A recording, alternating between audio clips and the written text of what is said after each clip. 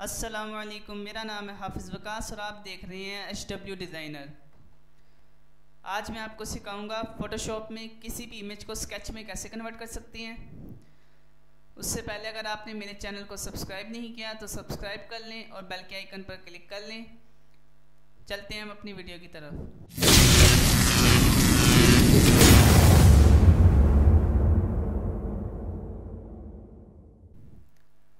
सबसे पहले आपने अपनी इमेज का ले लेना डुप्लीकेट कंट्रोल प्लस जे अब मैं आ रहा हूँ यहाँ से ह्यू एंड सेचुरेशन में। यहाँ से सेचुरेशन को कर देना है माइनस हंड्रेड अब मैं कर रहा हूँ क्लोज अब मैं अपनी इस इमेज पर आ रहा हूँ और यहाँ से ब्लेंड मोड को कर रहा हूँ कलर डोज अब मैंने जब कलर डोज किया तो इमेज देखें वाइट हो गई है।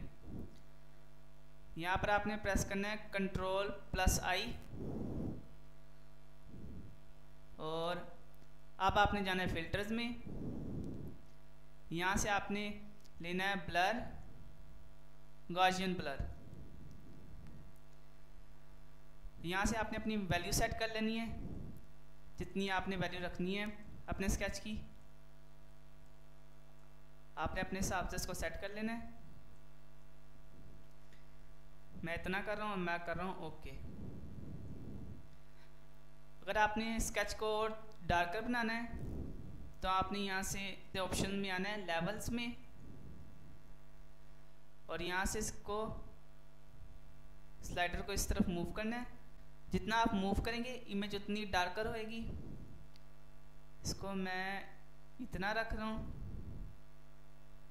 यहाँ से मैं इसको क्लोज कर रहा हूँ। यहाँ से जो ये क्लोथ है, ये थोड़ा ज़्यादा डार्कर हो गया है। इसको डेंसर कैसे करना है? मैं आ रहा हूँ यहाँ से ब्रश टूल पर। और यहाँ से इसकी हार्डनेस ज़ीरो कर रहा हूँ। ओपेसिटी मैंने रखी है फोर्टी परसेंट और यहाँ पर मैं ब्रश को अप्लाई कर रहा हूँ।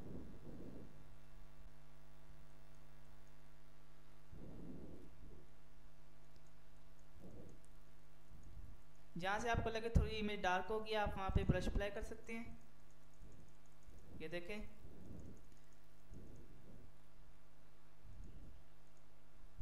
और आपका स्केच हो गया तैयार।